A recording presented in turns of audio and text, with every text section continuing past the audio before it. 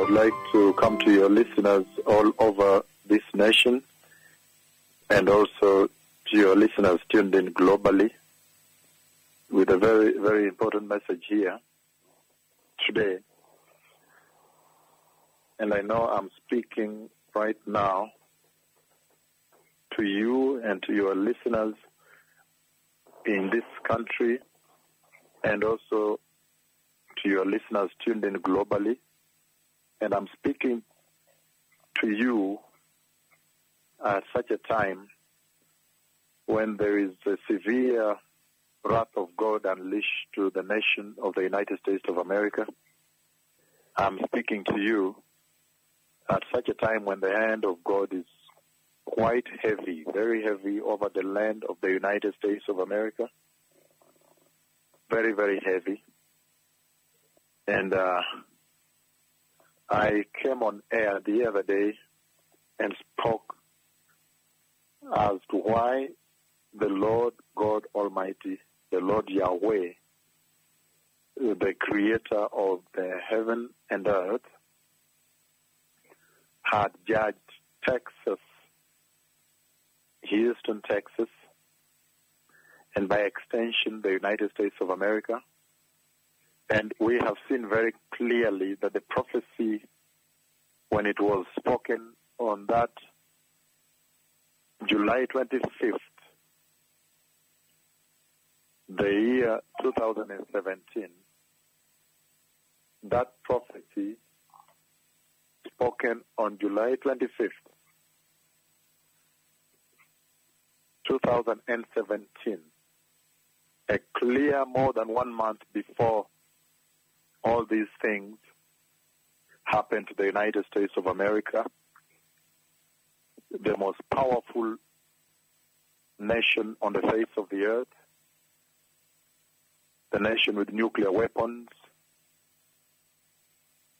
the wealthiest nation on the whole face of the earth, the nation with very organized systems of welfare, beautiful cities, top, the leading research institutions, their leader, their leader in aerospace research, leader in medicine, medical research, their leader in everything. They invest into research, the National Institutes of Health, National, National Institute for Mental Health, National Institute for Alcohol and what, National Institute for National Cancer Institute, National Institute for Mental Health. So they invest and they have frontline research to improve the quality of life, to give assurance to the peoples of that nation, to the citizenry of their safety, of their assuredness on life. A nation that has many satellites watching it from above the earth. And I spoke very clearly uh, in that, in that prophecy. So we see now that that July 25th, 2017 prophecy was essentially the voice of the Lord thundering across the land of the United States of America. And you see, even now, to the teams in Nairobi here, the teams in Kenya that have been uh, responsible for putting together all this and enlightening the world on what is going on, why it is happening.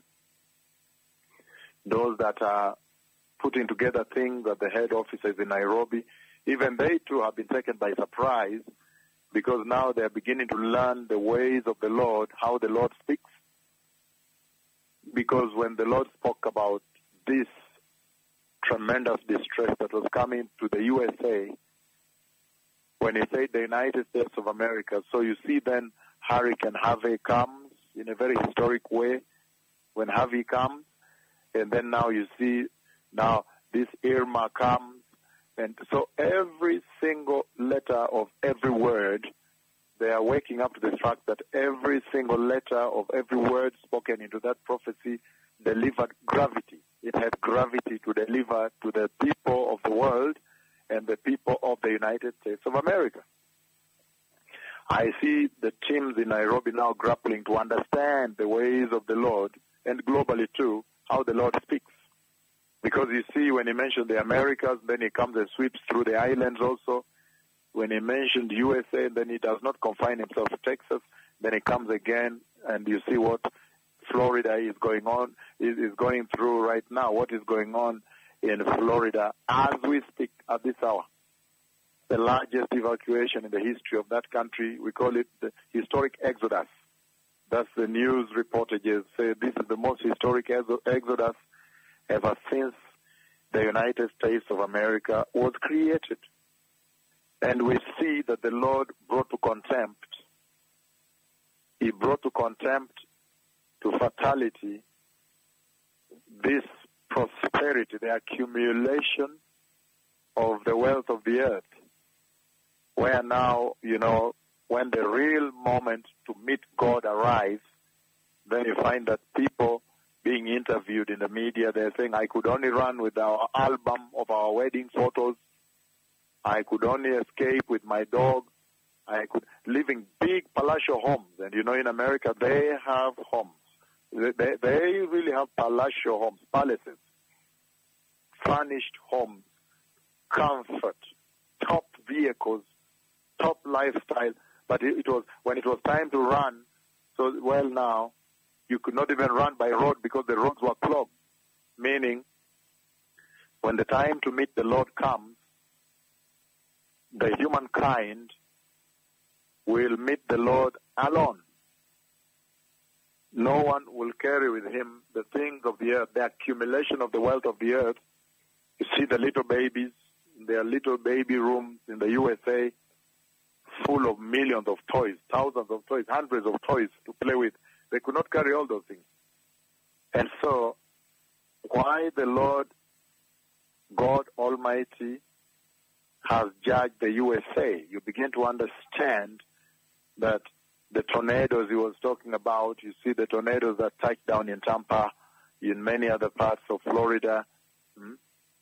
the tornadoes that touched down in Texas, the floods, and you see, I was there. I was running for my life.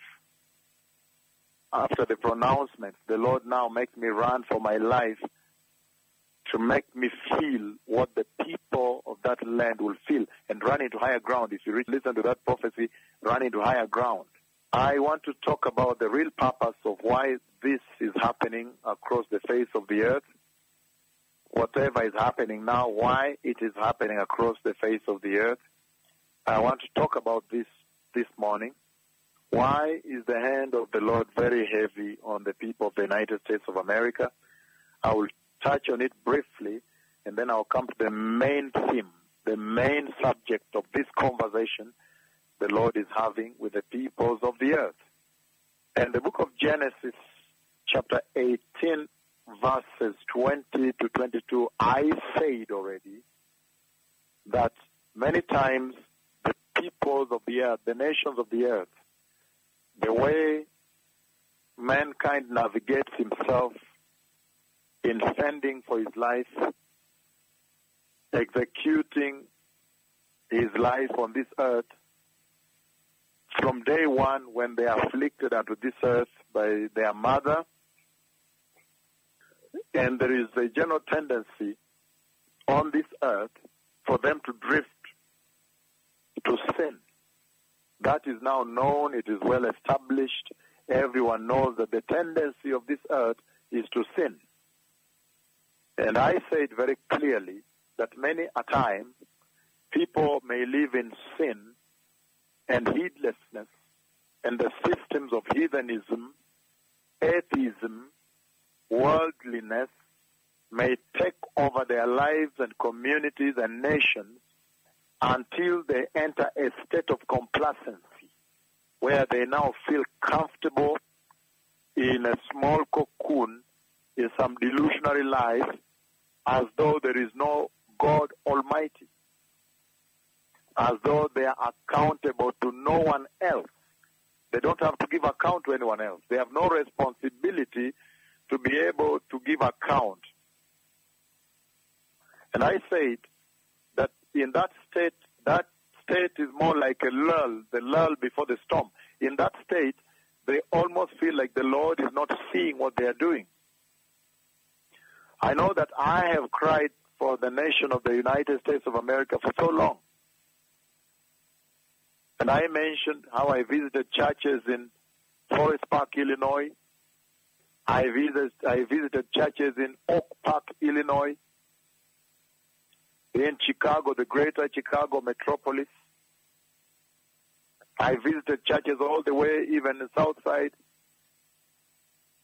Cicero, Pulaski, Logan Square, Northwest Chicago, and visited churches in Oklahoma, Oklahoma City, visited the Victory Christian Center, Oklahoma City, visited churches, many, many, many churches within Oklahoma City, visited churches in Tulsa, Oklahoma, churches in Norman, visited many churches in Tulsa, Oklahoma, and tried to engage the pastors there.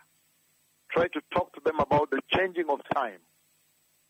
The fact that the Lord has now switched the clock and the spiritual clock of God in heaven now demands of us, demands of the house of the Lord, certain basic benchmarks, basic standards of the ordinances of God, righteousness, holiness, that the Holy Spirit is available to help us attain, to score those goals in Christian salvation in our own lives as we prepare for the coming of the Messiah.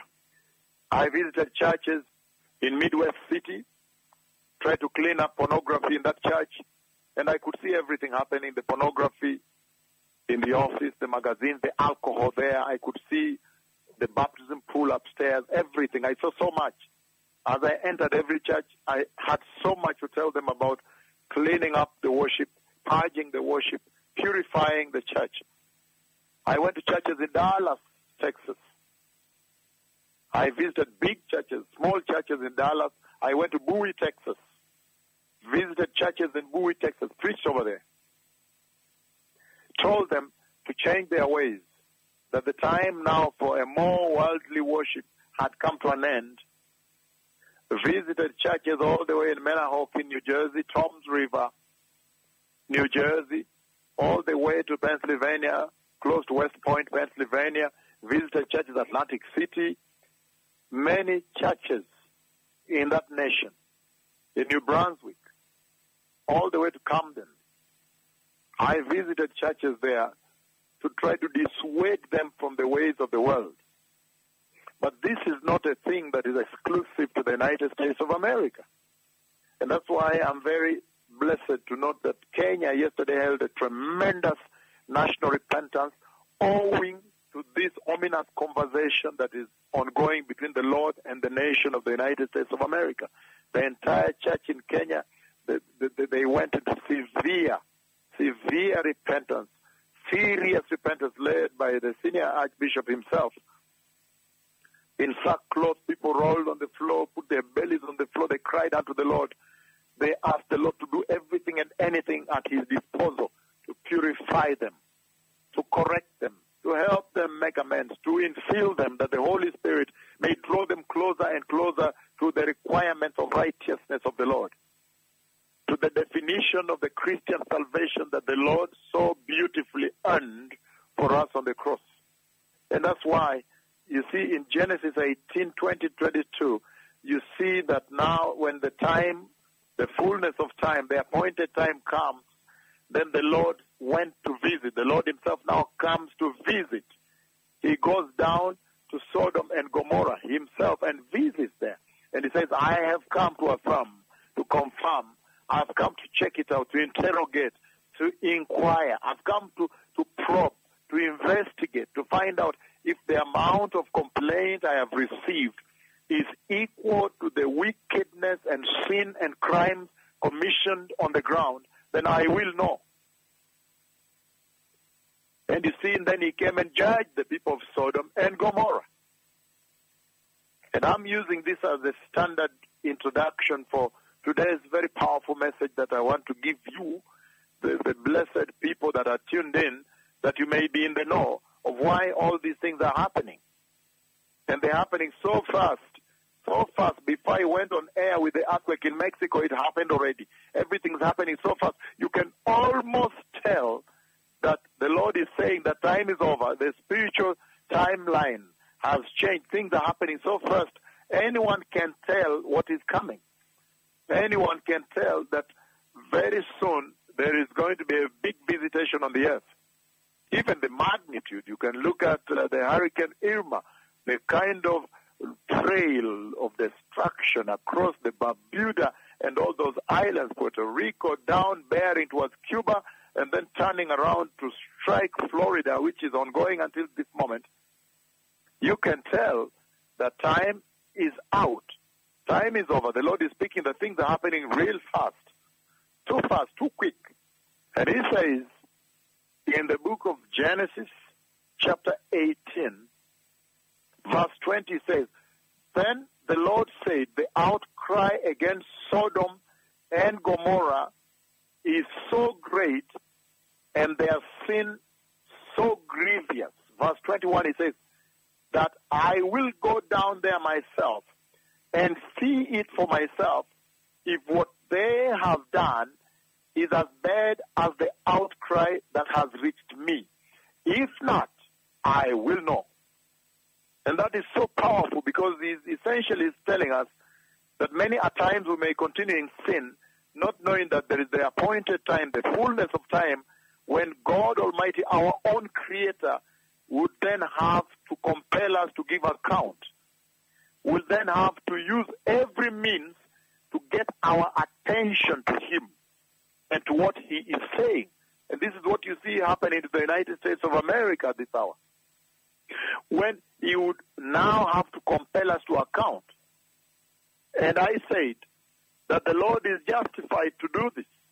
Because in so doing, in coming down to find out for himself, you see, on that July 25th, 2017,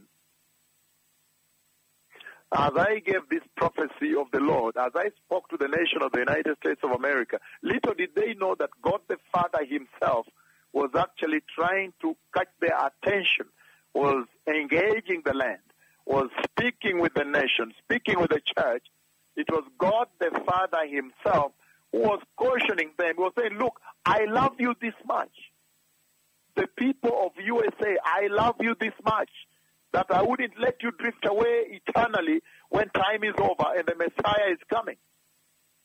I love you this much that I would have to stop you and seek your desperately seek your attention, shake you that you may now listen to me. And you see in the book of Genesis 18, verse 25, he ends up saying, verse 25, he says, Far be it from you, that is now Abraham talking to him, far be it from you to do such a thing, to kill the righteous and the wicked, and treating the righteous and the wicked alike. Far be it from you, will not the judge, in other words, the righteous judge of all the earth, do what is right judge righteously. And the Lord is saying that this is the hour when the righteous can stand in for the land. This is the hour when He requires of the church to stand in for the nation. But how will the church stand in for the land in the United States of America, in Kenya, in all over the world, in Britain, in South Africa, in Nigeria, in Morocco, in Ghana, all the way Dominican Republic, in Venezuela, and everywhere. El Salvador. I see El Salvador. I see your invitation, El Salvador. I see you crying. You want a visitation. You say, please, man of God, come. But how will the church stand in for the land if there is no righteous? There is no widow that is going to church and mourning. A widow that is going to church and crying, and the outcry is so great, so grievous the sin that a widow weeps, has no sleep, her tears cannot be wiped out. How can the righteous stand in the gap when there is no remnant that goes, for example, a widow that goes to church and tell the pastor, say, Pastor, I'm not young. Pastor, please preach from the word. Pastor, I'm not young. I have seen the worship team. There is immorality going on there. Pastor, I am not young. I see the women are dressing in nudity here. Pastor, restore the church. Take control of the church. Pastor, stop the gospel of money. Use the Bible. Stop the comedy. If there is no widow, the outcry was so big. Somebody was crying for the house of the Lord. The days of Eli, the same thing repeated. Hannah, Hannah kept weeping at the temple door. She was weeping for the house of the Lord. She really wasn't weeping for her son.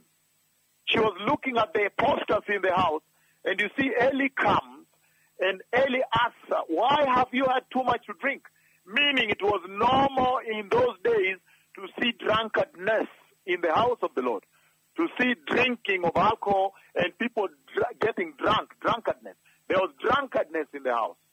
And Hannah was crying for the state of the affair and said, Lord, if you give me a son, I will not.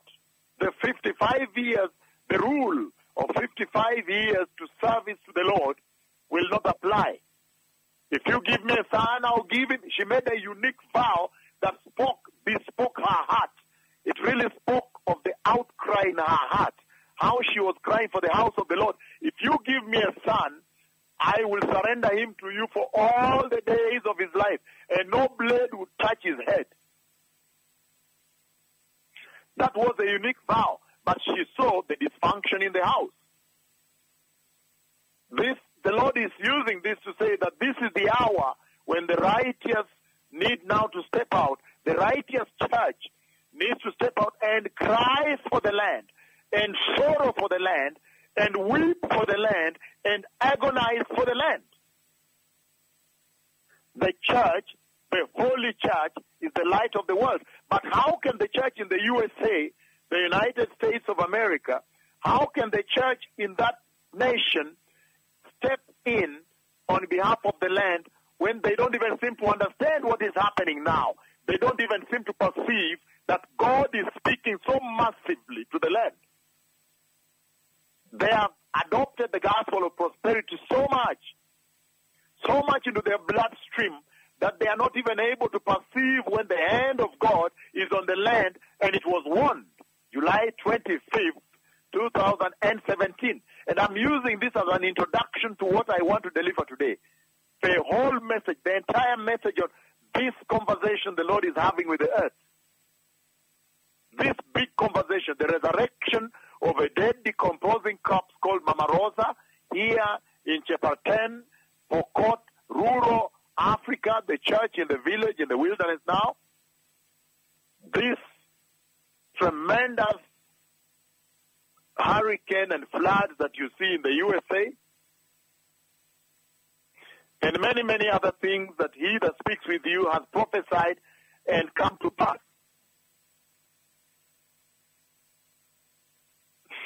Genesis 11, 5 to 7, same thing. The Lord comes down to seek attention of these people, to catch their attention, to tell them, you cannot ignore me forever. Genesis 11, Genesis chapter 11, verses 5 all the way to verse 7. Same thing. Many times you may forget. You may be caught up in a lifestyle of sin for some time and forget that we have to give account. We have a creator. Before I get to Genesis 11, it will be so powerful to bring to your understanding the fact that even Isaiah bemoans, bemoans Israel in like manner. When Isaiah said, a donkey knows its master's manger, meaning owing to the goodness of the master and owing to the fact that the donkey goes on a daily basis to the manger, to the trough, and gets benefit from there, he says the donkey feels a sense of obligation. And you know, the donkey is one of the most unwisest of all animals Jehovah created. And the Lord uses that to rubbish the wisdom of this generation. And he says, the donkey knows its master's manger, and the donkey returns to the manger, always returns, always goes back, knowing that when I go back, I always get benefit. I cannot let the Lord down. I cannot disappoint him. The donkey knows that whenever it gets to the trough, the master's manger, it finds straw and eats. And the donkey is able to tie the benefit of submitting to this master, the benefit, and says, and now synthesize that in its brain and mind and heart as a sense of obligation. So the donkey feels obliged that oh, owing to the goodness of this master, I cannot disappoint. I cannot disappoint him. There are benefits. The benefits outride anything else. And he goes on to talk about the ox, same thing. Look at the USA. The Lord has been good to you. And many other nations I'm talking about. It's not only USA. Many other nations of the earth. The Lord has been good to you. Look at the United States of America. You have a welfare system. You have health care. You have top hospitals. You have good roads. You have protection. You have things that other nations do not have. And only the Lord did provide that life to you, that goodness to you. But you never tied the benefit of He, the Master, with that benefit and synthesize and process it as a sense of obligation for you to submit to the Master, to always go back, always go back to the Master, to the first nation you built to worship the Lord. Genesis 11 verse 5 on it says, But the Lord came down, that is the Tower of Babel, but the Lord came down to see the city and the tower that men were building. Another moment, when he left them for some time, and then all of a sudden he comes down now. He says, For how long shall they continue in building this tower of rebellion in Florida, the tower of rebellion in Miami, in Tampa, Florida? How can they continue building? For how long will they build this tower of rebellion in Barbuda, in Puerto Rico, in the Dominican Republic, all those so-called paradiso, the islands of paradise, the paradise of sexual sin, all the way to the keys of Florida. For how long will you continue building this tower of rebellion in Texas, in Dallas, Texas, in Houston, Texas, in the churches of the United States of America? For how long will you continue building this tower of rebellion where the women dress as they want in the church, where the pastors preach a more earthly gospel, where homosexuality is acceptable, where people can cohabit without marriage, in lying, this kind of worldliness that you are spewing out there. For how long does that continue? And he's saying in the book of Genesis 11, verse 5, he says, There comes a time when the Lord would have to come down and seek your attention. Why? Because the prophetic timeline of God has clicked. It has picked. The coming of the Messiah is now nearer, and He loves you that much. And He says, verse 5, But the Lord came down to see the city and the tower that the men were building. And after that, He disintegrated them, He broke them down. Why does He come down? He comes down because He's a righteous judge. He's a just judge. He comes down to execute, like I said, a judicial inquiry, investigation, interrogation. A divine tribunal took place on that July, July 25th, 2017. He comes to see the height of wickedness. He comes to see whether you've really perfected the art of sinning. And I said the same about Egypt. When you look at the book of Exodus, Exodus chapter 12, Exodus 12, verse 12, verse 29, they speak the same thing. Exodus 12, verse 29, it says, At midnight, the Lord came down and struck all the firstborn of Egypt, from the firstborn of the Pharaoh who sits on the throne to the firstborn of the prisoner who is in the dungeon to the firstborn of all livestock. The Lord at this point had to come down. But if you look at the chapter 3 verse 8 of Exodus, then you understand he promised to come down. He would come down to address the state of the land, the abuses in the land. The outcry was so high the burden of slavery was so big, the outcry was so high, the Lord said, I have heard, tell the house of Jacob, I have heard their cry. The slavery is so bitter and their slave masters, they, they, they're overloading on them. They're abusing them. Genesis 3 verse 8 says, So I have come down to rescue them, my people, from the hand of the Egyptians and to bring them up out of that land into the land, the good and spacious land, a land flowing with milk and honey, the home of the Canaanites, the Hittites, the Amorites, the Perizzites, the Hivites, and the Jebusites. Hey. There comes a time when the Lord has to come down. There comes a time when the voice of the Lord has to thunder in the land. And it comes with lightning. I saw the thick dark cloud of Jehovah come over the United States of America at the east coast, the, the, at the beaches with rats. Immediately after Hurricane Harvey, then he came. He came there and the Lord made me know it was rats. I was in the office working. Then he told me I fell asleep like this. And then at that moment he took me, they showed me how his cloud of glory, the cloud of God that visited Moses, that visited he that speaks with you here, he came with a rat like this. And I trembled when I woke up. There comes a time when the Lord has to come down to seek your attention. Why? Because the Messiah, the King of Kings, is coming. And nobody can ignore the coming of the Messiah. The book of Micah, Micah chapter 1, verse 2 to 4, describes the same thing. Isaiah 26, he says the same thing in Isaiah 26, 21. He says, see, look, the Lord is coming out of his dwelling to punish the peoples of the earth. This is his nature.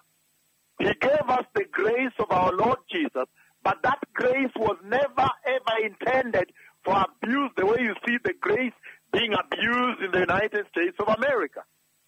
So having built that preamble for you, the peoples of the world, the people of the earth, now I want to walk with you step by step, stepwise. Why? Why does the Lord Jehovah do this?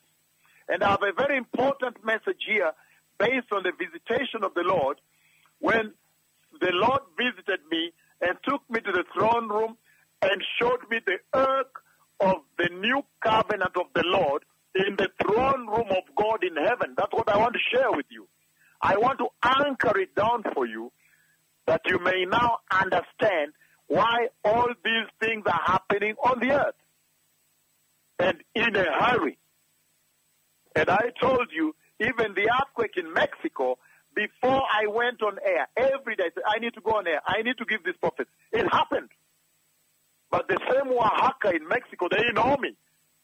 I gave a 24-hour notice of earthquake in Oaxaca, and it took place the next day. I was in the hotel room. It shook me also violently. Why? Because I met all the pastors in Oaxaca, and I told them, the Lord is summoning your attention now to repentance. I even said so at Puerto Escondido and gave a 24-hour notice for earthquake. And I said, tomorrow by this time, if you don't repent, there will be an earthquake.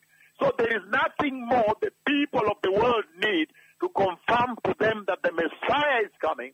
The clock has changed, and they need to repent, turn away from sin, and receive Jesus, and enter the glorious kingdom of God when that day arrives.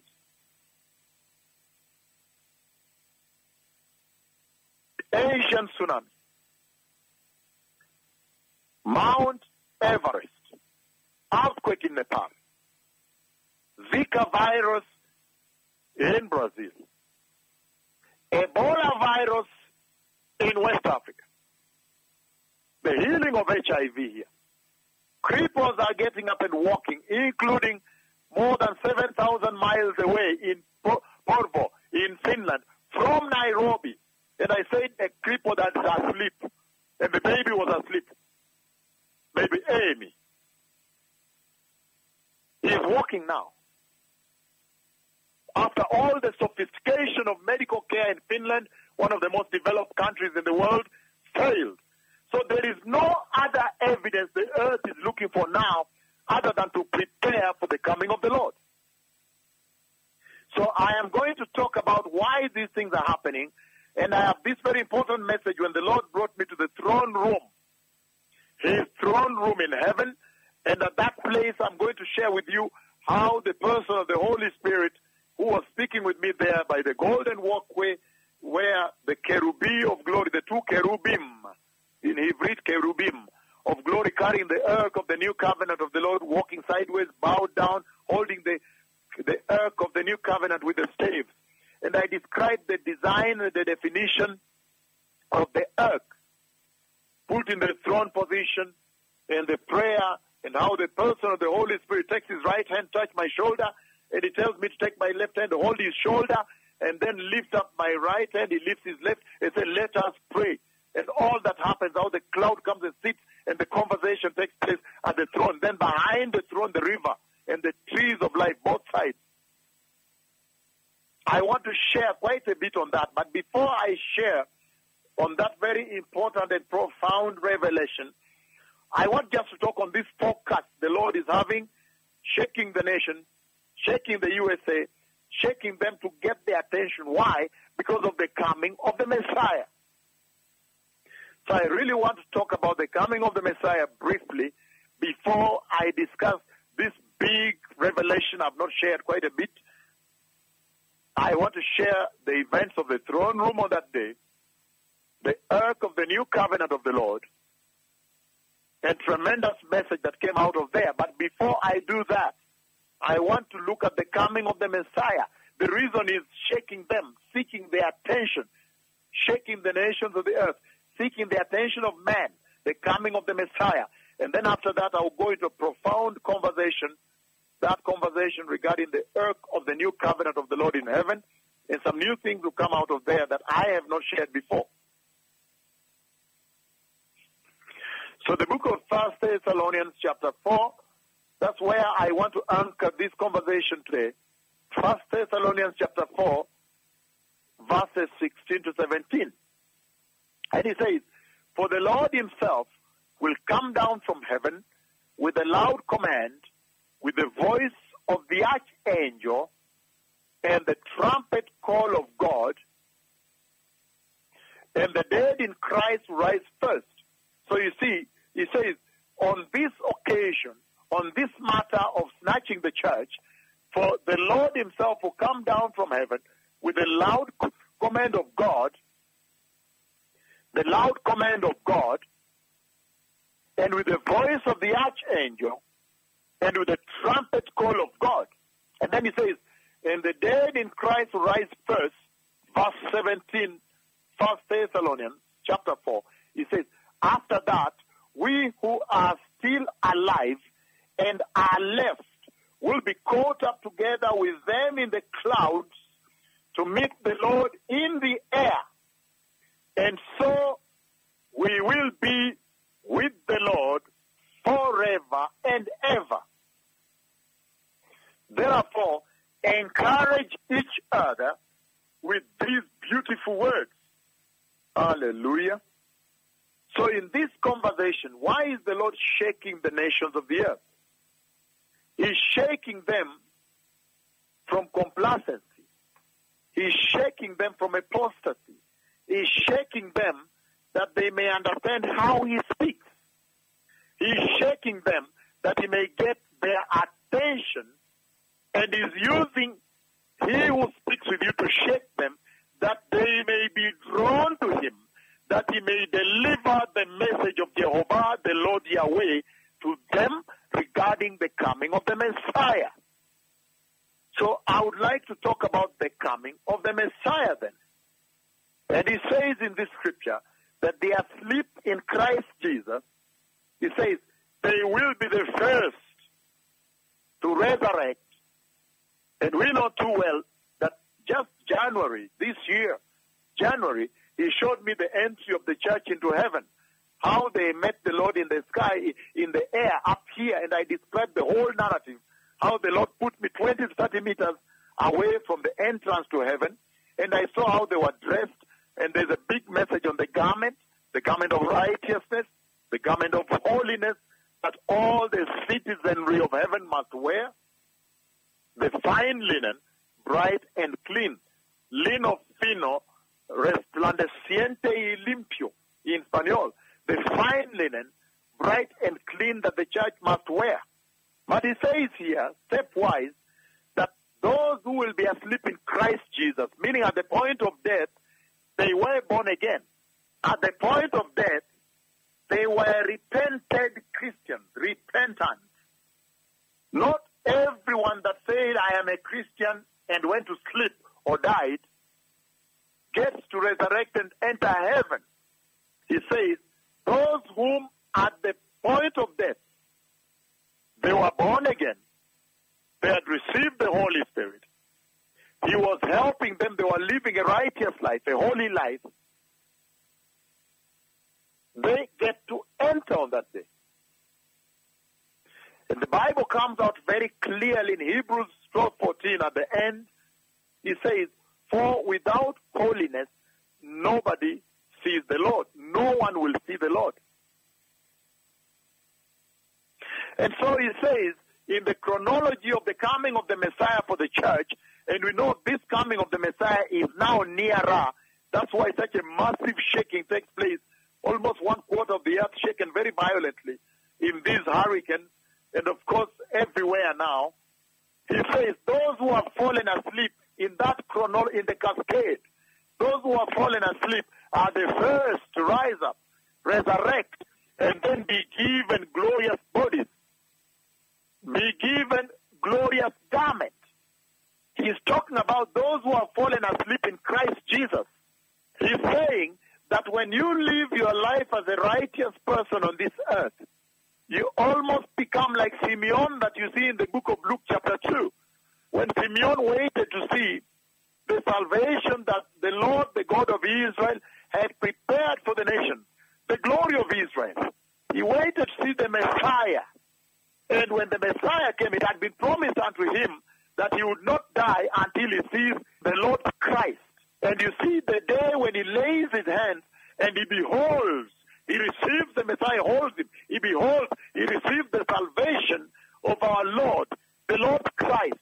Then Simeon says, now you can let your servant go.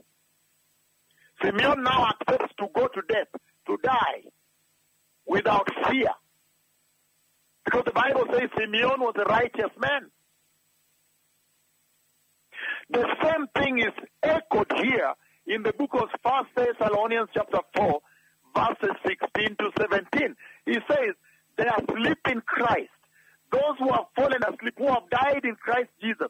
In other words, to them, death, death does not do a holocaust on them, does not wipe them out.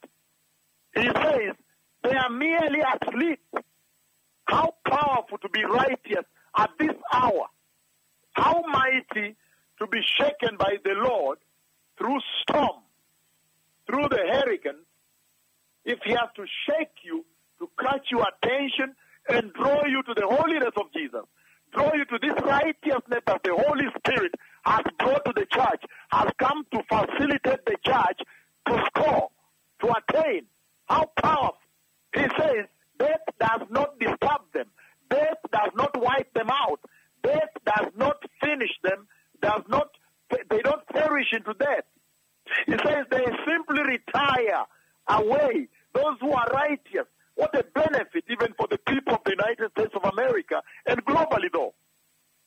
What a benefit to be holy and righteous. Even at the point of death, he says, they are not worried by death. He says, because on that day, he says they are the first to rise when the Messiah comes. How powerful.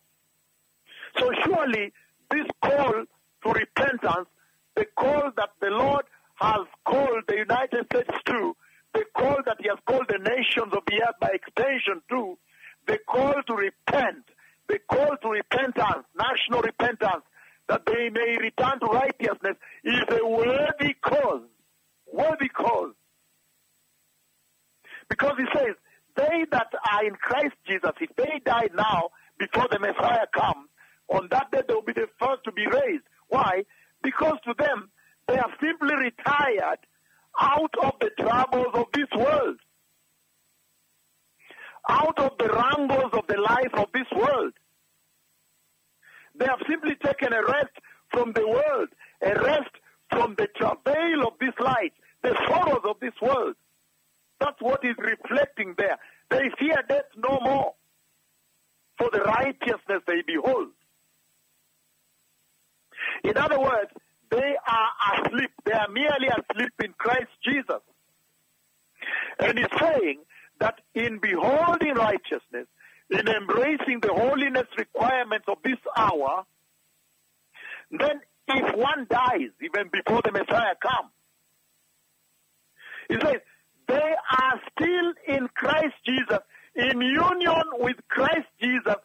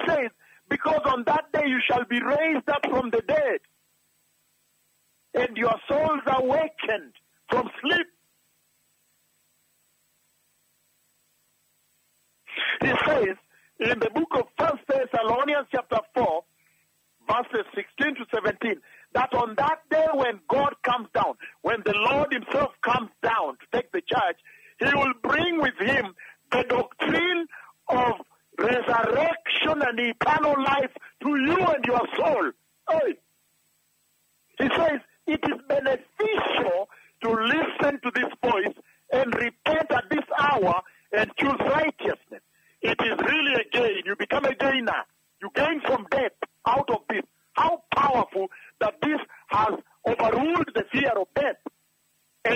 church, in the body of Christ right now, we are handling the resurrection of a dead, decomposing corpse that is Mama Rosa in Kenya here.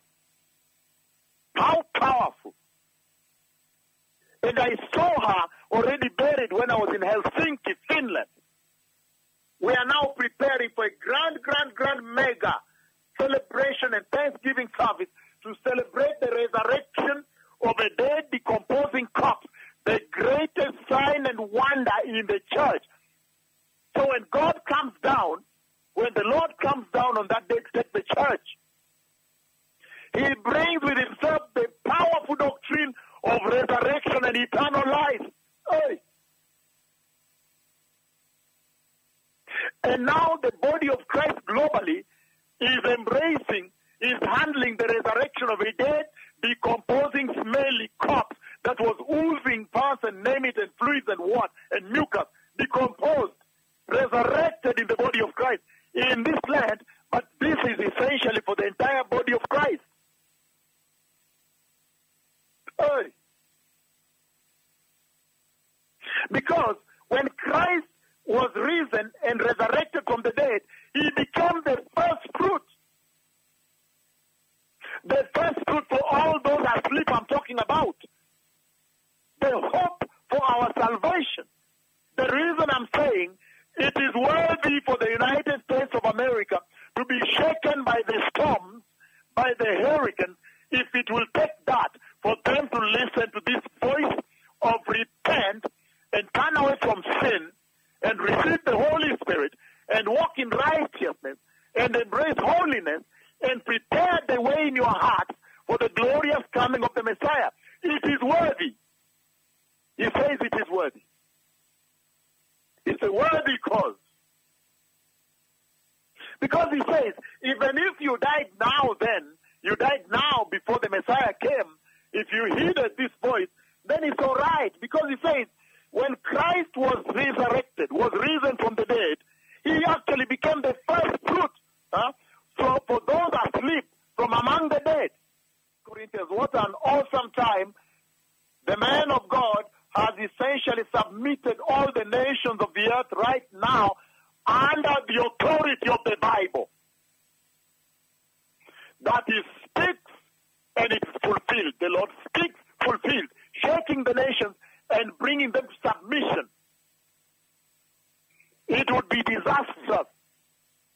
It would be tragedious for the land and the people of the United States of America to have been shaken by Hurricane Harvey and to have been shaken by Hurricane Irma and the people of the Caribbean and the Americas, name it, and then at the end of it fail to understand the message. Why is God shaking us? That is why I come to you today in the morning and night for USA.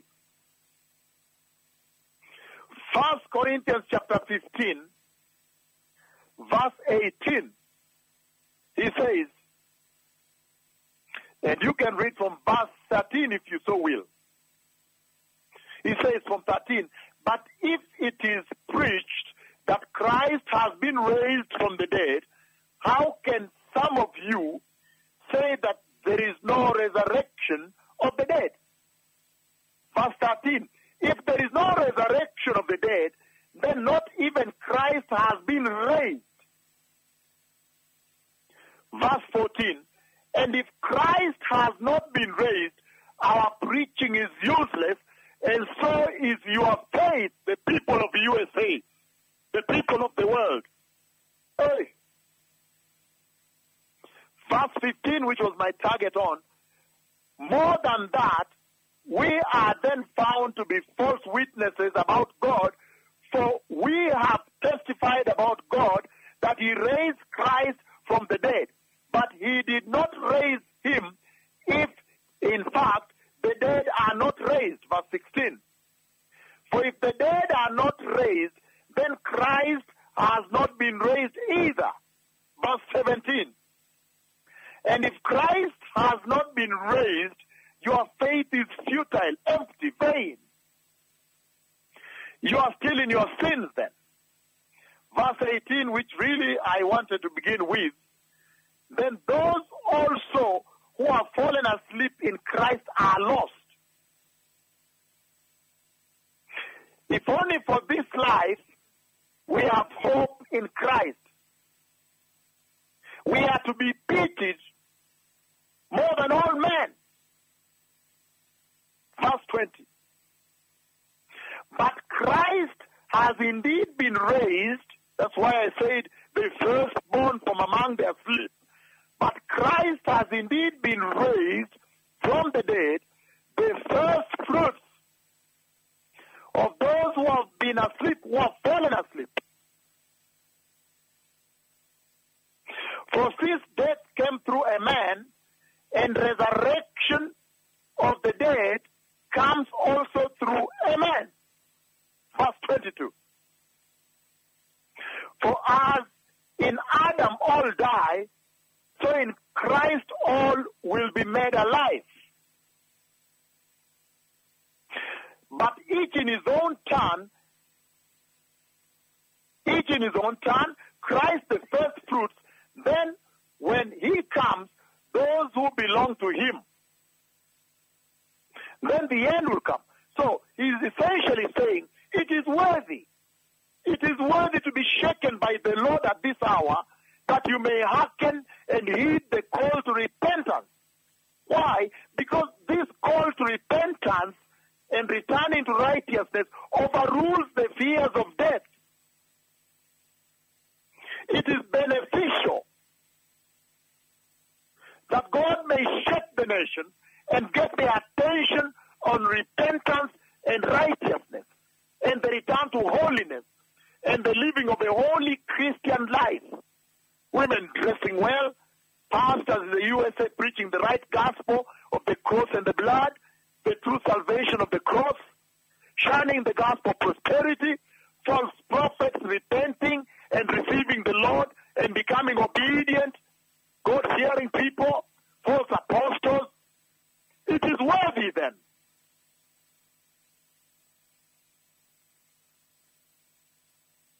The book of Colossians, chapter 1, verse 18, same thing. He says Christ, Christ is the firstborn. The first, he says he is the first fruit from among the dead, the first fruit from those who have slept. So when you read First Thessalonians chapter 4,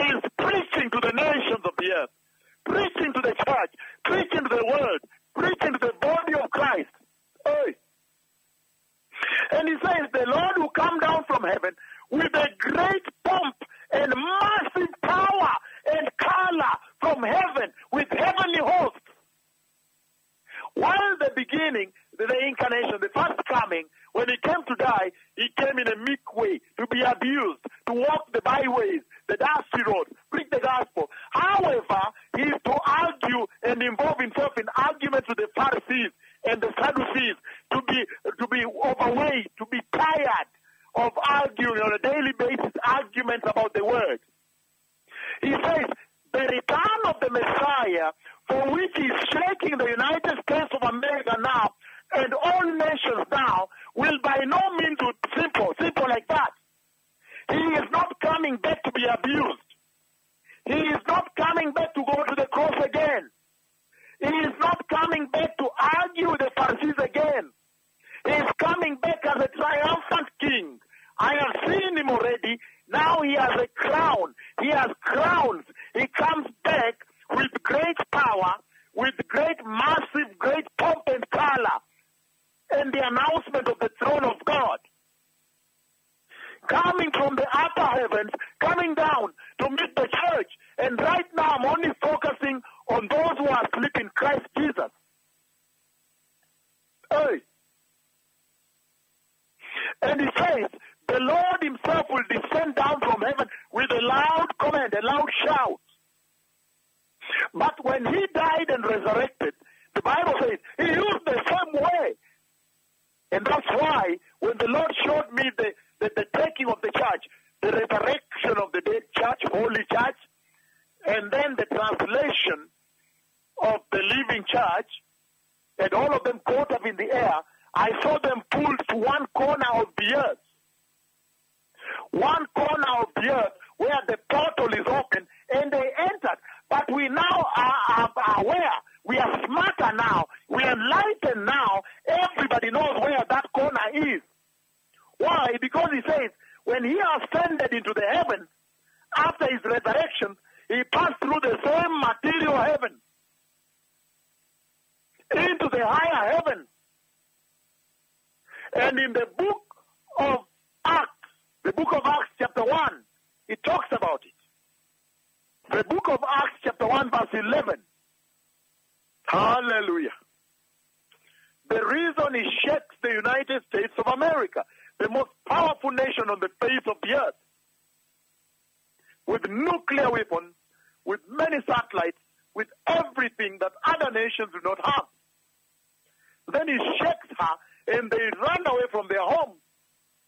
Why?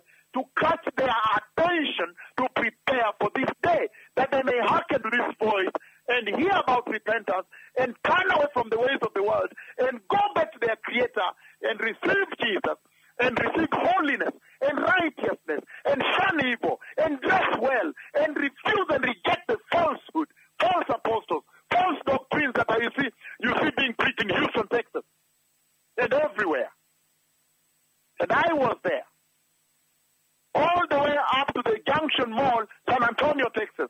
All those places. I made endeavors to get there. I really endeavored to reach every corner as much as much as I could. Shaking the nation of the USA the islands of the Caribbean, that they may reject that deception of immorality and the apostasy. That they may listen now about the coming of the Messiah and prepare. This is the day for which he's shaking the nation. This is the message you cannot fail to get after you've been shaken that much. The book of Acts, chapter 1, verse 11, it says, it says, Men of Galilee, they said, why do you stand here looking into the sky? This same Jesus, this same Jesus who has been taken away from you into heaven will come back in the same way you have seen him ascend, go into heaven. Hey. He says that the same way he went, he must come back. And he says, he will not come back until all things have been restored. And yet the time for his coming back has been set by the Father. Nobody knows the day. Nobody knows the hour. But the season we can see even in the shaking of the USA, the Caribbean, and the nation. He says there would be a distress as has not been seen before across the nation. He says it is only through the restoration of all things, and that can only happen by repentance. The voice that is calling out to you, repent, repent, and receive Jesus, and turn away from sin, and embrace righteousness, and embrace holiness, for the kingdom of God is near. I have seen the coming of the Messiah. I have seen the Lord coming. I have seen the entry of the Holy Church, the remnant of God. In other words, in the book of First Thessalonians chapter 4, our reference scripture for today, verses 16 to 17, he says, after all things have been restored, the Lord will appear in his glory and he will descend from the heavens and come into the air up here, into our space above the earth here.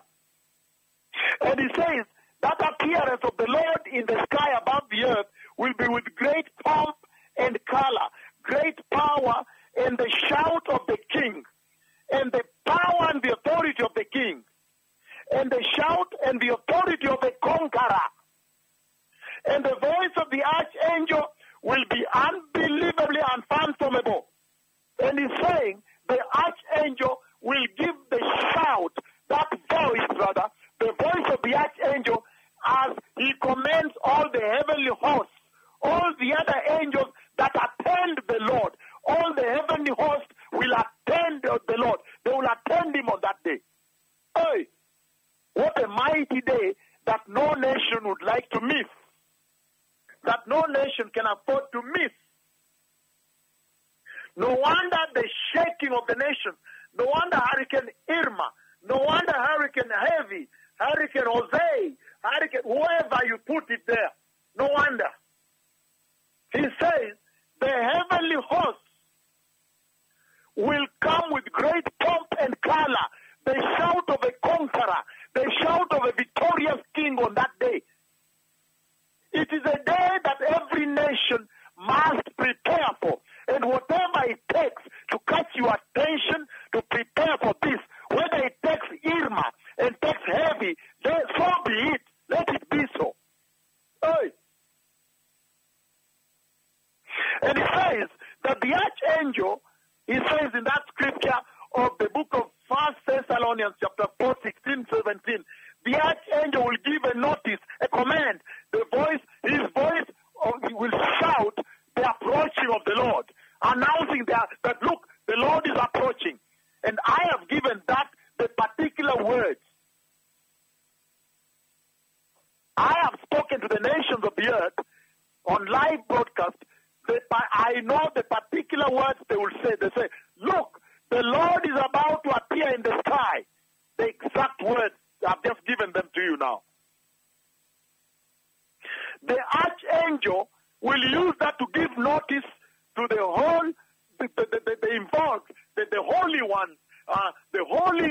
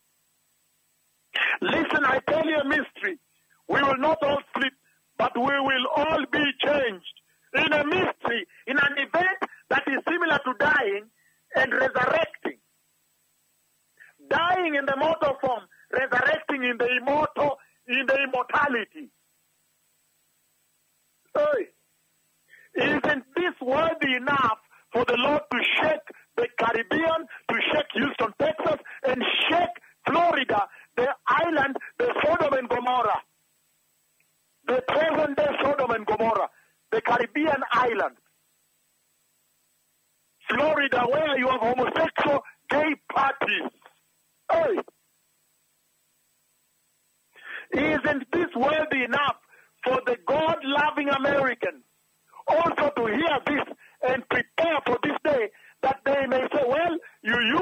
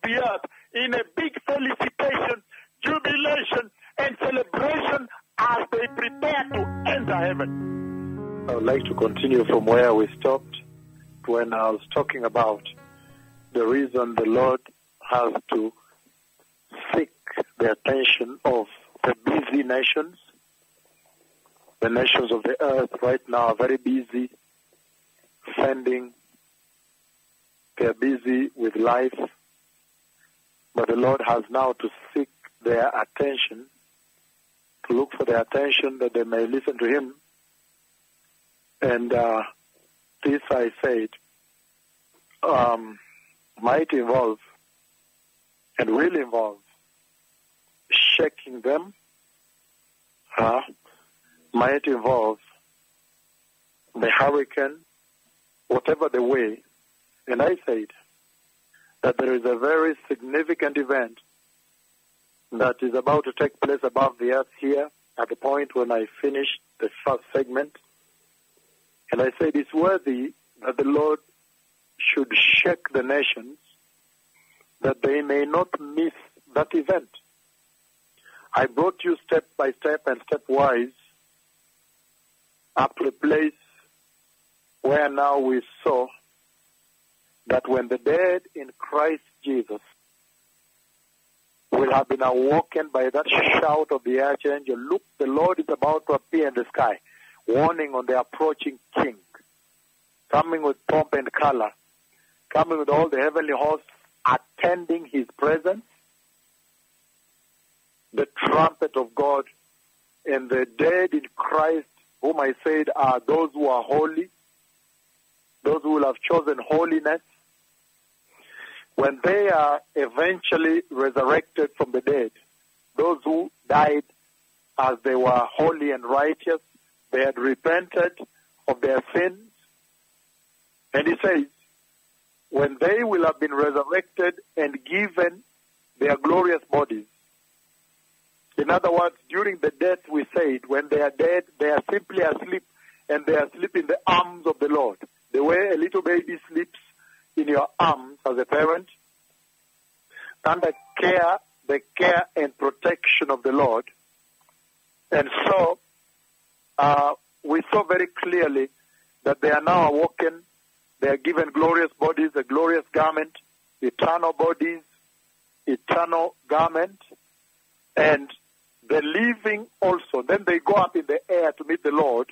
However, he says, the living, those who are alive, the living Christians who will be living in holiness, they will be alive, and these are the repentant Christians.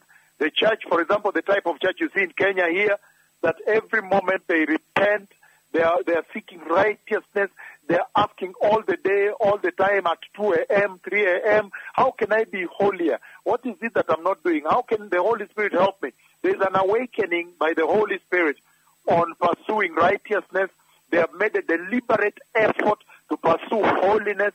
They are looking for ways of living for it. They are quitting jobs sometimes when a job is compromising their salvation. It doesn't matter how great the salary, the what, the remuneration. Hmm? They quit it.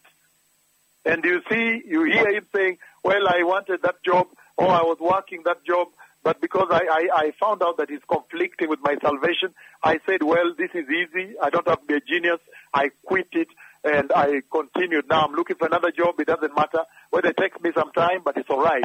I have chosen eternity. I don't want anything defile my holy salvation.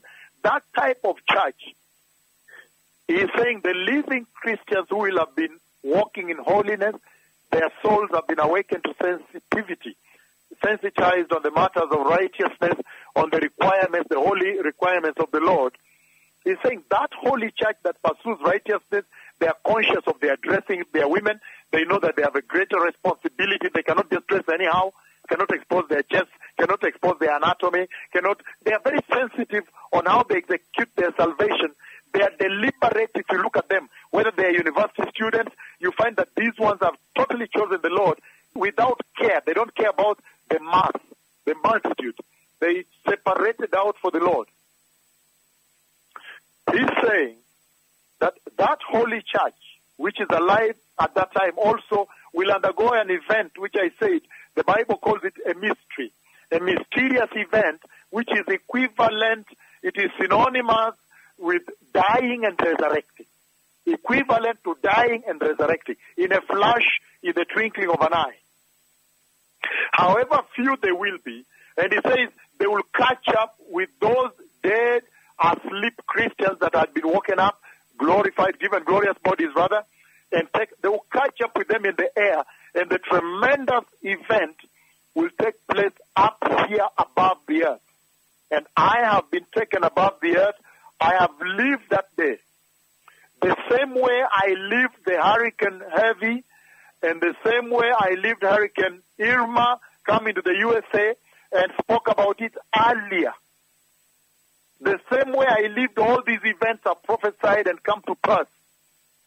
The same way I lived the creation of the planet above the earth and four moons above the earth after finishing the planetary zone, go to another stratosphere above there and have create another planet. The same way I lived that until it was fulfilled after 38 days is the same way I have already lived this day, this event that will take place above the earth here.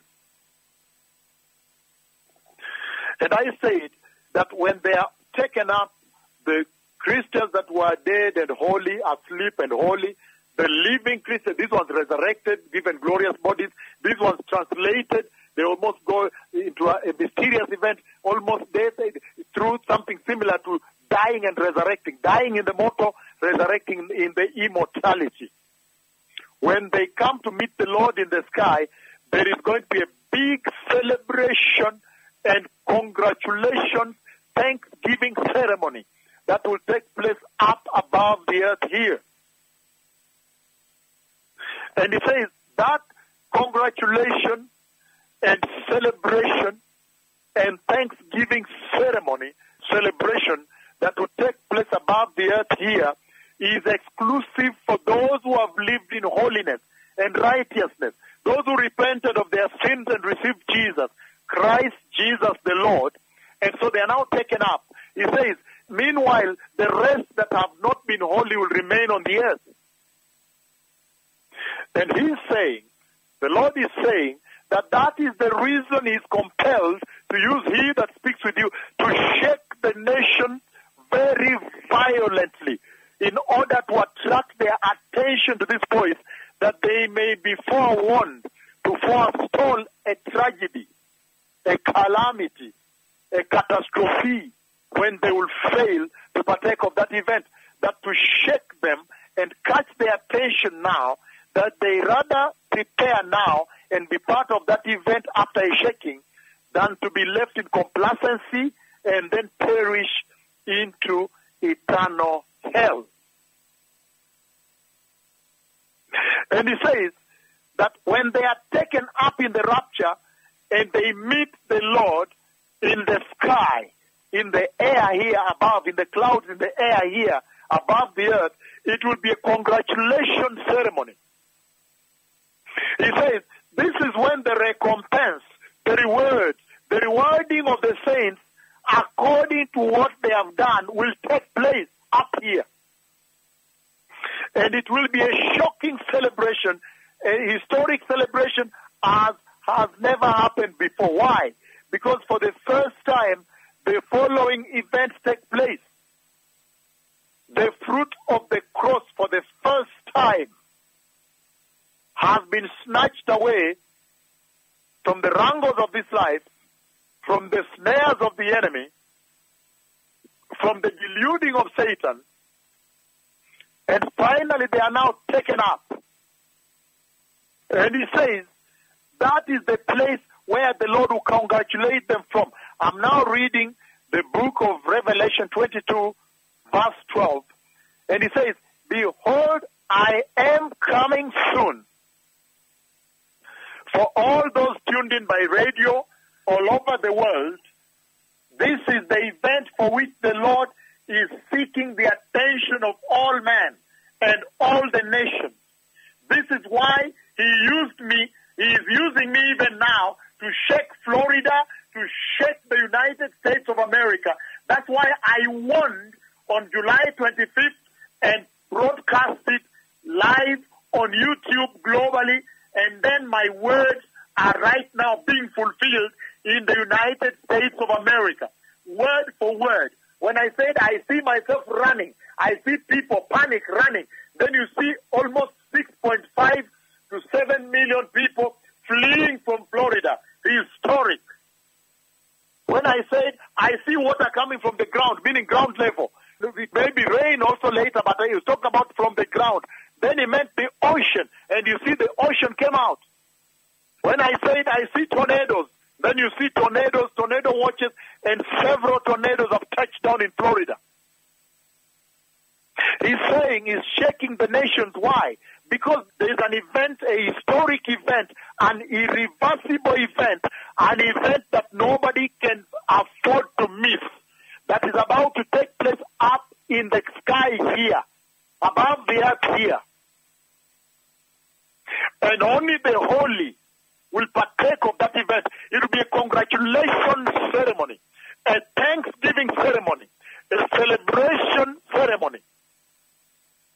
And it says here, Behold, I am coming soon. My reward is with me, and I will give to everyone according to what he has done. I am the Alpha and the Omega, the first and the last, the beginning and the end. Hey.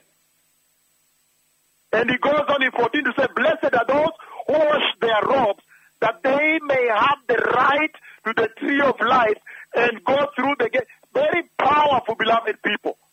There is a ceremony up here. And he says, when the dead in Christ and the living in Christ, holy and holy, when they are taken up in the rapture to meet the Lord in the sky here, in the air, above the earth here, they will have a ceremony, a glorification ceremony. They will have a glorification ceremony when they will be glorified. In other words, they will receive the crown of glory above the earth here. Nobody on earth deserves to miss this. Nobody. Regardless of which nation.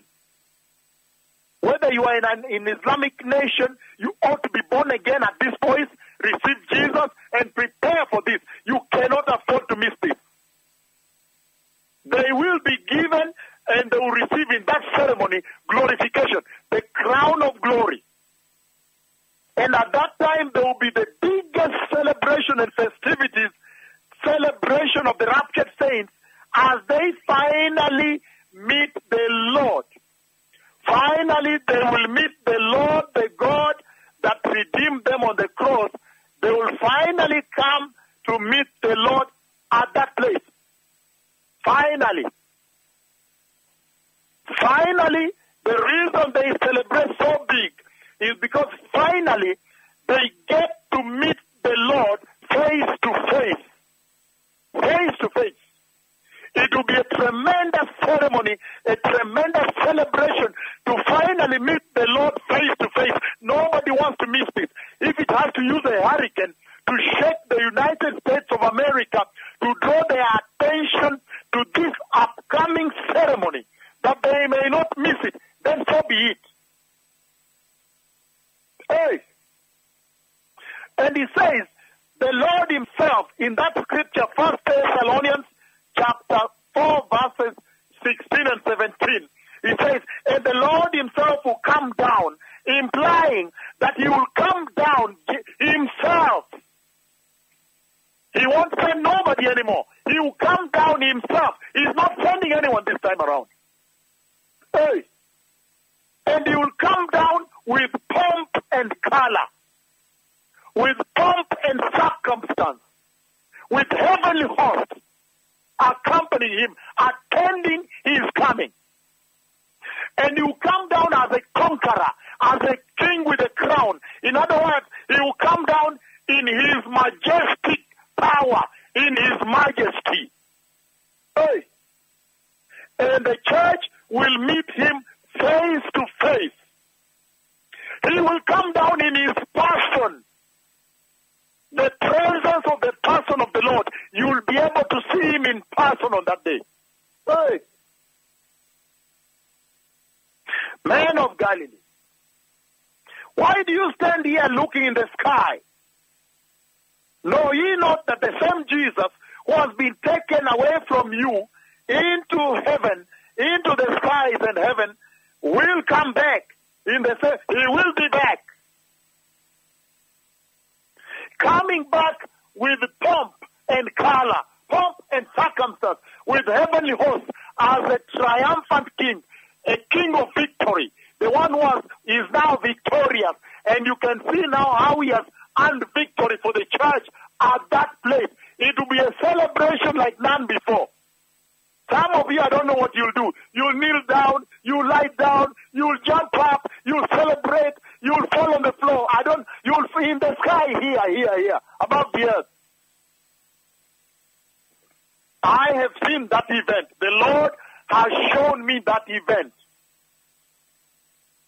And he says, the shout, there will be a shout as we have seen. I have given you the exact words of the shout that will warn, that will awake the people, awake the holy asleep, and awake, enlighten the holy living. The shout. He says that shout is a signal.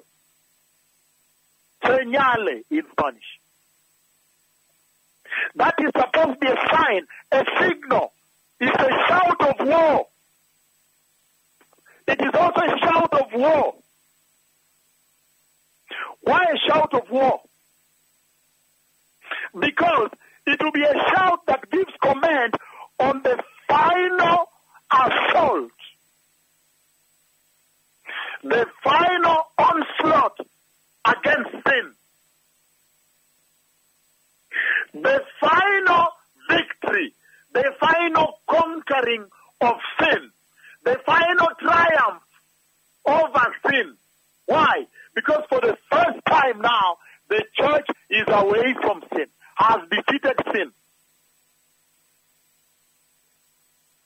We know very well from the meeting in Menengai, the meeting that took place in Nakuru in Kenya here, August 2016, last year, beginning 26th of August all the way to 29th, those three days. You know that the Lord had spoken to me about that meeting and shown me that meeting before.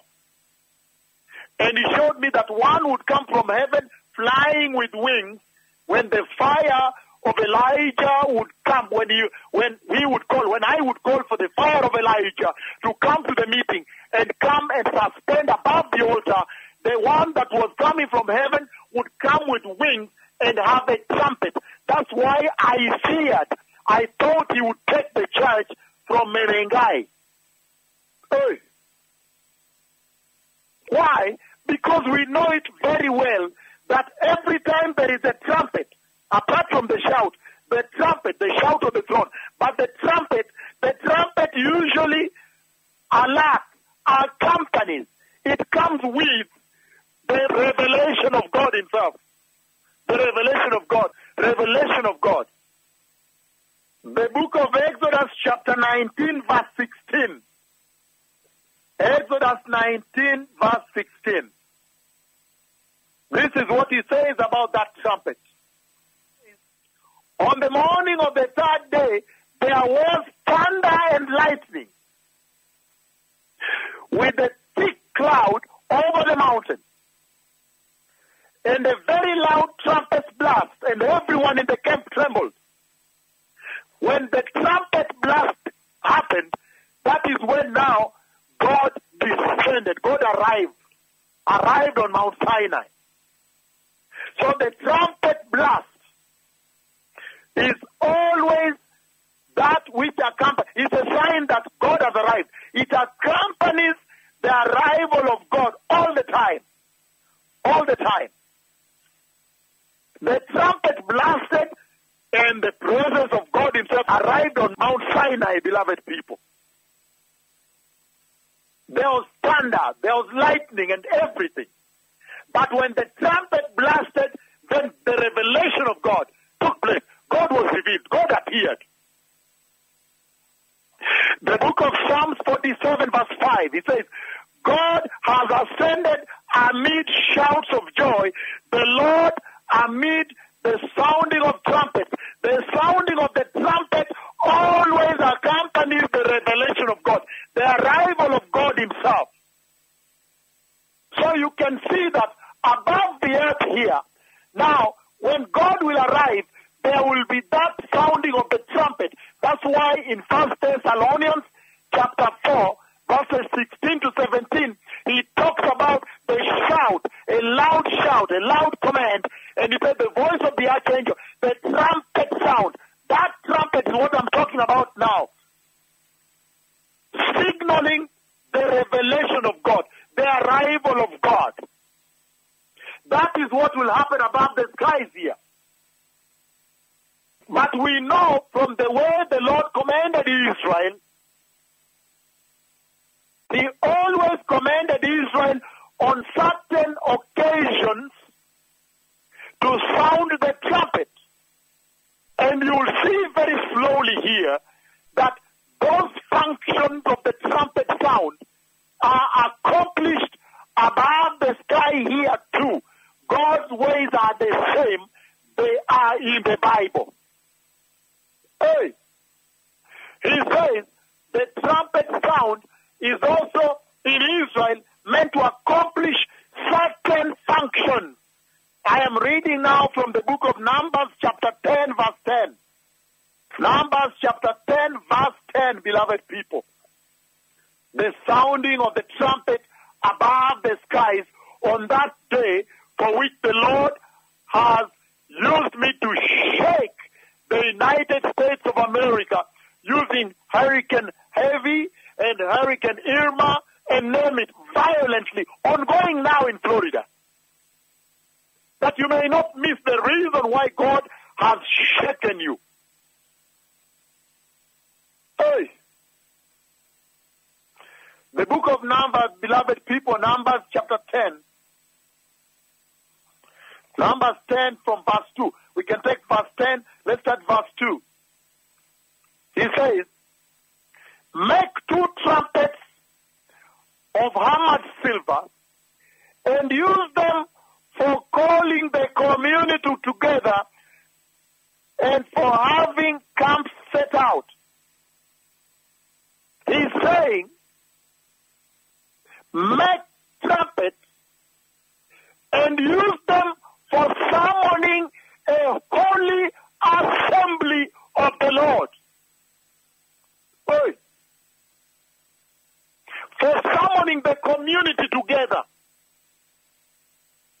to observe a holy convocation unto the Lord. And on that day for which the Lord is shaking the nations, the day that I'm announcing to the nations of the earth that they may repent and prepare, the day for which He is violently shaking the USA right now. That He may get their attention, that they may hearken to this voice and get to prepare, not to miss the event above the sky here, above the earth here. He's saying, when that day arrives, he will sound the trumpet that you see in First Thessalonians chapter 4, verses 16 to 17. And the purpose is to summon a holy convocation, a holy assembly of the dead in Christ who are holy and the living in Christ that were holy, that they may observe, assemble, and gather and observe a holy assembly above the earth here. There is a ceremony here. Hey! Hey! The sounding of the trumpet on the day of rapture that he may summon forth a holy assembly of the holy elect, the holy saints of God, those who are dead in Christ Jesus holy, those who are living Christians holy, not dressed like immoral prostitutes, not dressed in what what, not in the gospel of prosperity, not in the lies of false prophets, those who are walking holy on the earth, and those who are holy at the point of death. He says, the trumpet summons a holy assembly above the earth here. Hey, how mighty. Numbers chapter 10, verse 10. And he says, Numbers chapter 10, verse 10. Also, at your times of rejoicing, your appointed season and feasts, and new moon festivals, you are to sound the trumpet over your hallelujah, over your burnt offerings and fellowship offerings, and they will be a memorial for you before the Lord your God. I am the Lord your God. Hey. Also at your times of rejoicing and celebration, you are to sound the trumpet. So when the trumpet sounds in the book of First Thessalonians, chapter 4, verses 16 to 17,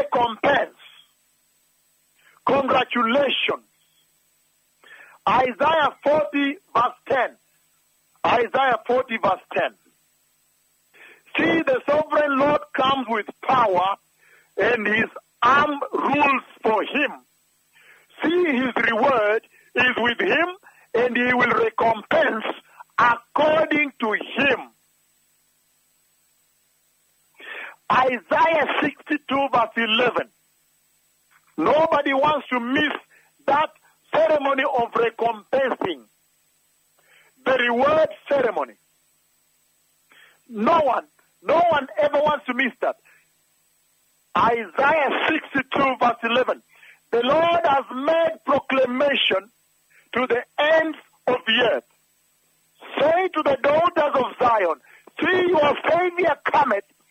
See his reward is with him.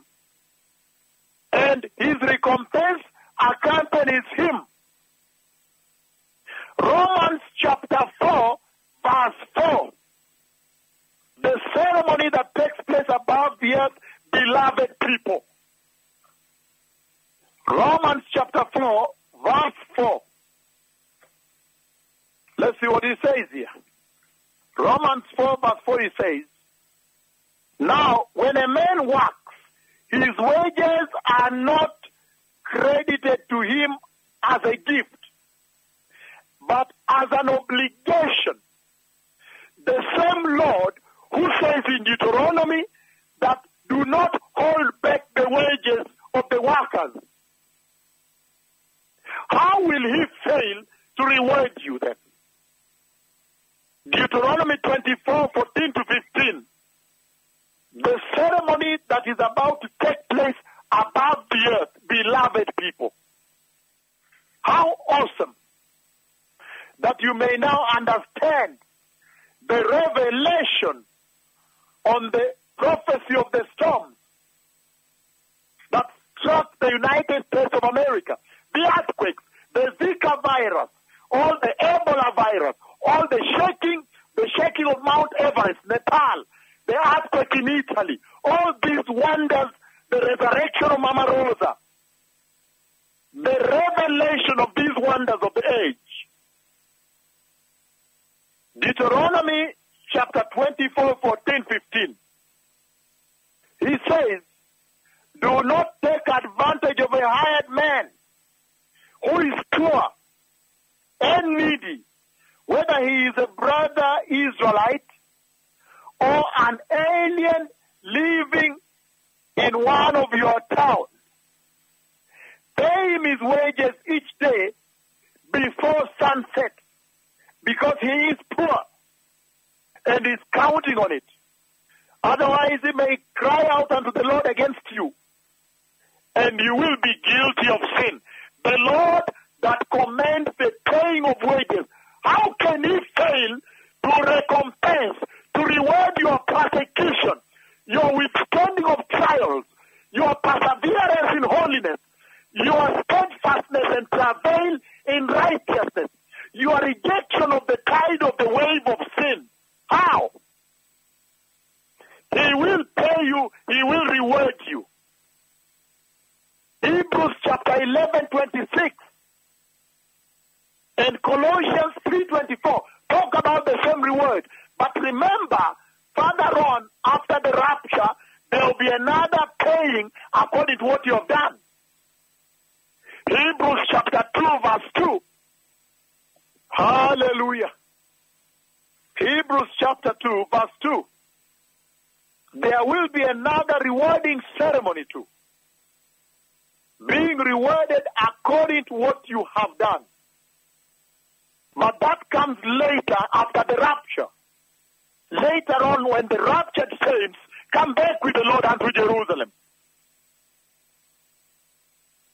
For if the message spoken by the angels was binding, and every violation and disobedience received is just punishment. Hey. There will be another recompensing, paying, and giving according to what they have done. Where the wages of sin will be death. But I am not talking about that. I'm only saying, unto those that have heard and hearkened and prepared, to them awaits a reward. A reward awaits. Isaiah chapter 3 verse 11. Woe to the wicked. Disaster is upon them. They will be paid back for what their hands have done. There is another ceremony that will take place. But I'm talking about the ceremony for the elect of God, the holy saints that are raptured. However, he says there will be another ceremony. Another ceremony bewaits those who are not part of the holy convocation and celebration that will take place above the earth. And he says in the book of Romans, chapter 6, verse 23, he says, For the wages of sin is death, but the gift of God is eternal life in Christ Jesus our Lord, the Savior. So there will be another ceremony. But I'm talking about this mega ceremony that is about to take place on the earth here. Celebration, felicitation, historic jubilation when they are asleep in Christ Jesus, resurrected, glorified, given glorious bodies. Those who are alive and holy, also Christians, taken up to meet the Lord in the air, in the sky above the earth. Oi. And he says, and therefore they will be with the Lord forever. Meaning, they will be united with Christ. And now you'll have one body, the body of Christ. From the dead saints, now resurrected and glorified, the living holy saints, now translated and together, one body of Christ with the Lord Himself, face to face, meeting the Lord face to face. The raptured saints, the holy elect, the raptured elect. Hey. And that's why it is very critical, beloved, for the nations to prepare that when that ceremony takes place above the earth, nobody misses it. He will come back to Jerusalem in Revelation 1 7. I've read it across the earth. But that is another day.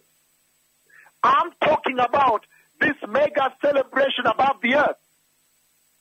And he comes with the clouds in triumph, in victory. And when he comes with the clouds that you see mentioned there, the cloud, let's go to the book of Psalms 104, verse 3. I've read verse 2 to 4 all over the earth.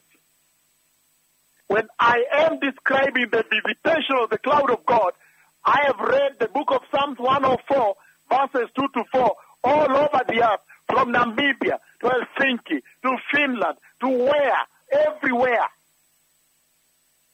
Psalm 104, beloved people, why he comes with a clouds. The tremendous clouds of God. The cloud of Jehovah. This is what he says. He says, or I can begin verse 2. He says, He wraps himself in light as with a garment. He stretches out the heavens like a tent, and he lays the beams of his upper chambers on their waters. He makes the clouds his chariots and rides on the wings of the wind. He is coming triumphantly with the chariots. A king comes with chariots. And he's saying that is the reason he comes in the clouds. Oi. Just above the earth here the air, they will meet the Lord now, as I've said. They will meet the Lord. He comes with chariots. Chariots. The cloud are the chariots of the Lord. How powerful are they? A triumphant king. A victorious king. He is not coming back to preach the gospel again. When I look at the church in the United States of America, I see a church that is behaving as though Jesus is coming back to preach the gospel anew and go back to the cross. It's as though they are crying for a second deliverance. That will not take place. Hey. It will not take place. At that time, the kingdom of heaven will be like ten virgins who took their lamps and went out to meet the bridegroom. Hey! Into the sky. At midnight, the cry rang out, Here is the bridegroom, come and meet him. Matthew 25. The saints that are raptured, the church that is raptured, will meet the Lord in the sky, beloved people. It says, hence they shall be with the Lord forever and ever, meaning sin will never touch you again. In the USA, all over the world, even Kenya here, oh, I have cancer. Pray for me, cancer of the throat, cancer of the stomach. I have cancer of the lungs, cancer of the liver, cancer, cancer. Those sorrows will be no more. Because you will be with the Lord forever and ever. Forever and ever.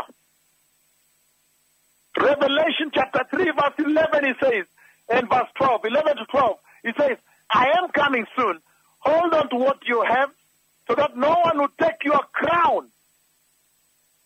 Hey, I am coming soon. Hold on to what you have so that no one will take your crown. Him who overcomes, I will make a pillar in the temple of my God.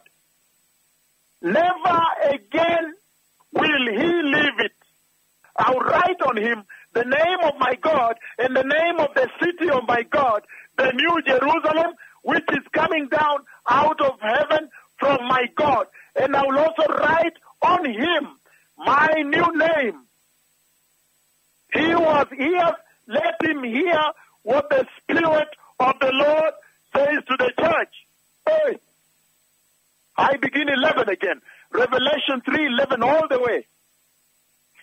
I am coming soon. Hold on to what you have. Hey, but you received it from Calvary.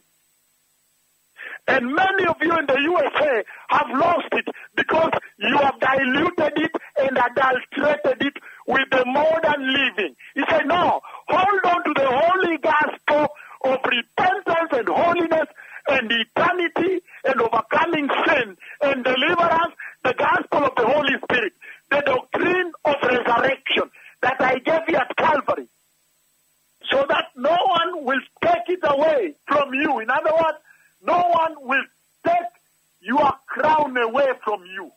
Hey. And he says, Him who overcomes, I will make an eternal pillar. A pillar in the temple of my God, the eternal temple of God. Never again will he leave it. Hey. And he says, I'll write on him the name of my God and the name of the city of my God, the new Jerusalem, which is coming down out of heaven from my God. And I will also write on him my new name. And that's why in the book of First Thessalonians, he says here very beautifully, First Thessalonians, beloved, he says here, chapter 4, First Thessalonians chapter 4, 16, 17. Verse 17 it says, After that, we who are still alive and are left will be caught up together with them in the clouds to meet the Lord in the air. And so we will be with the Lord forever. Why? Because that is the church that has overcome sin. They have persevered the travail. They have rejected sexual immorality of this world. You turn on every TV, immorality. Every commercial, immorality. Every street, immorality. Everything about this world is immoral now. But he's saying there will be a remnant of God at this hour that will shun evil and they will choose to stand and live unto the Lord. To be holy no matter what it takes. In other words, he's saying they will never leave the Lord anymore after this ceremony. The dead will be at the same advantage point as the living anyway now. In any case, they were better than the living when they died in holiness. So they are not going through the wrangles and the snares of the devil that are greater and greater each and every day we live. This is the message, the message of the big celebration, felicitation, and jubilation that is coming up above the earth here. This is the message that the Lord had in the storm. The hurricane Harvey and the hurricane Irma, the earthquake in Mexico, earthquake in Mount Everest, earthquake in Italy, all these things, the resurrection of Mama Rosa, all these things you have seen, HIV healed, the creation of the new planet. This is the message that is embedded there, embodied. It is the message of the coming of the Messiah, the celebration that is about to take place above the earth here, which I have already seen, which I have been announcing year on end, which I have been trumpeting, for which I have been calling the nations to repent and return to holiness, for Jesus is holy. I have seen the Messiah coming. Beloved people, prepare the way. I will continue the next time I get a chance to talk about the ark of the covenant of the Lord that I saw in the throne room of God in heaven when the person of the Holy Spirit took me to the throne room of God in heaven. Shalom, the Lord bless you. May you be found holy and ready. Amen. Toda, toda, toda rabba lahem, toda haverim.